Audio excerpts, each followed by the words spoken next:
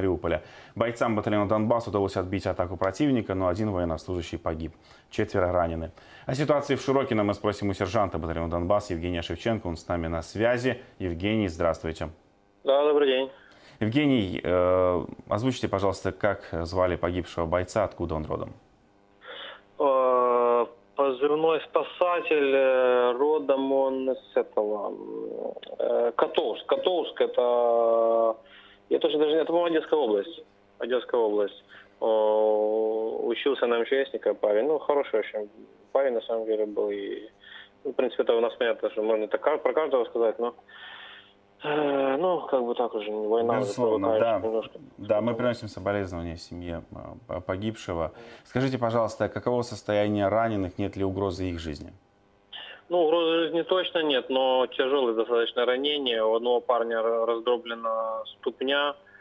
Ну, как бы, пока врачи не, не дали гарантии, что они смогут сохранить ногу, ну, именно саму ступню, потому что там просто каша. Ну, будем надеяться, что сможет там, э, в принципе, все специалисты, которые там нужны, там подключили, там сейчас э, волонтеры также проявили большую готовность, если нужно отправить сразу ребята, ну, парня, куда нужно, там, если там в Израиль, там, или, ну, в любое место, где смогут забрать ногу, как бы держим на контроле, ждем э, от врачей сигнал.